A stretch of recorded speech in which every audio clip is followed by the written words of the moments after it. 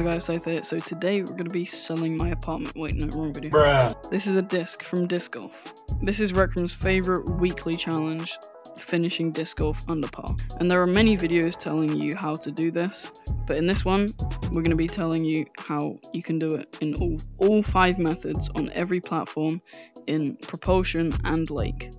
Alright, so here we are in Disc Golf Lake. So this is the one that not a lot of people know that you can actually easily do under par because there's actually a bunch of methods you can do here. I'm going to show you the first method that you can do with this. Okay, so this first method can be done on either map on every platform.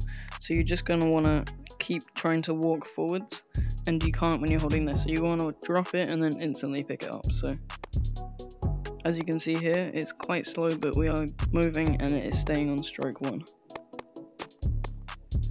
Alright, and here we are at the hole one, and... Alright, so this second one I do not recommend because it is very slow. This is a list of every method, so I'm just going to show it anyway. And this method is spin walking. Anyway, let's go.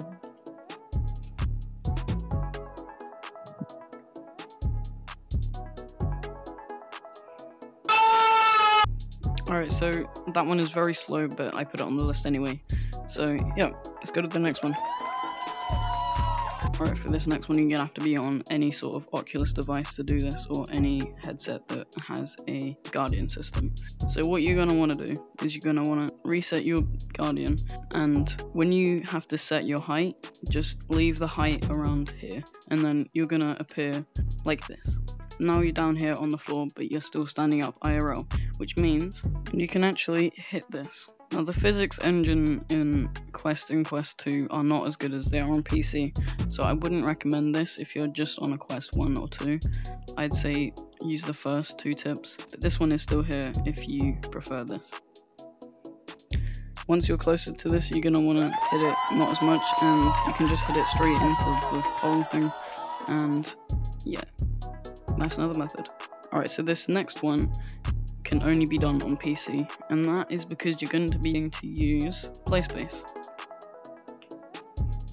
The reason you're going to be needing to do this is you're going to want to drop this to the ground, and then you're going to want to use your PlaySpace to crouch down, and now while standing up, the ground level is around here. Let's go over there to show you how to do it. Alright, so for this one, you can hit this, but the method we're going to be doing is the pushing method. So basically what you have to do, you need to put your hands in a sort of V shape around the back of the disc, and then when you walk, it's going to move like this. Alright, so as you can see, it bounces around a bit inside of your hands, and it can sometimes fly out if you go too fast. Alright, so this last one is the most well known one, and we have to come to disc propulsion to do this one. Alright, so for this method, you want to be at this starting line, and you want to go this way, and you want to go through the final level, and you want to go straight this way. Once you're over here, you should see a waterfall coming out of a pipe, and there should be some rocks behind it. So you just want to go around the back of the rocks, and there will be a sword here. Once you're at the start, this part is really simple. All you need to do is just hit the disc and it will go flying. So yeah, this can be done on every single platform. Once you got the disc to whatever hole you're going to, you just want to pick it up and drop it. So after watching this, you should never have to go play another game of disc golf properly again and get under par every single time. So I'm just going to finish this and try and get some good items and I'll see you then.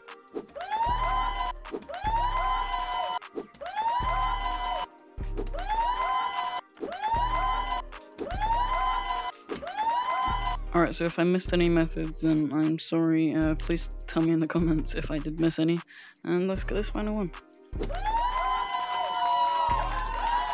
Alright, so that's how you get under par in disc golf with all methods. And look, I finally got the scientist here. Ready to start. Alright, so I've got this cool new hair now. And I'm gonna go. But if you want to watch any more of my videos, uh, feel free to.